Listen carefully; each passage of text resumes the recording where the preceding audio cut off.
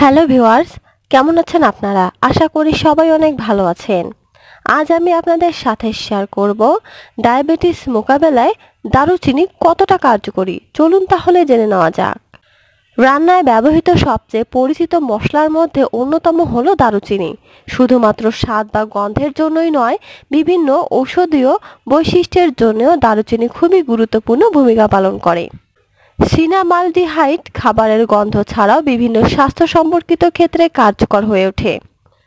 ডায়াবেটিসের ক্ষেত্রে প্রতিষেধক হিসেবে কাজ করে দারুচিনি। এছাড়াও অ্যান্টিঅক্সিডেন্ট হিসেবে দারুচিনি খুবই গুরুত্বপূর্ণ হয়ে উঠতে পারে। দর্শক, আপনারা জানেন দারুচিনি দুই ধরনের। সেইলন দারুচিনি, চাইনিজ বা কেশিয়া দারুচিনি।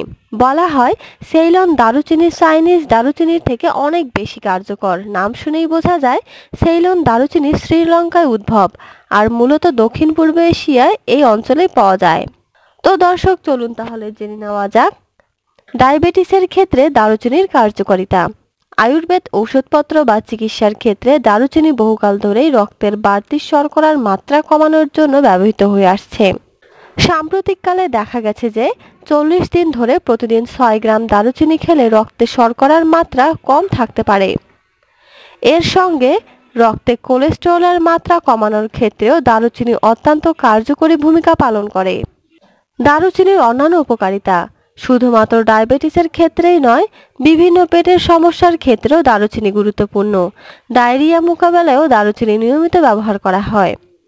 আয়ুর্বেদে দারুচিনির ছাল অনেক সময় দাঁতের যন্ত্রণা বা জয়েন্টের ব্যথার ক্ষেত্রে কার্যকর ভূমিকা পালন করে। দারুচিনির পার্শ্ব প্রতিক্রিয়া, বেশি মাত্রায় দারুচিনির সেবন লিভারের ক্ষতি করতে পারে।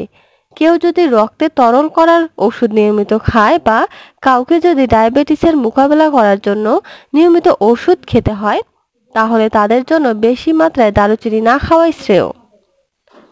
তো দর্শক, এই ছিল আমাদের আজকের ভিডিও। ভিডিওটি ভালো লাগলে অবশ্যই একটি লাইক দিন এবং বন্ধুদের সাথে বেশি বেশি করে শেয়ার করুন।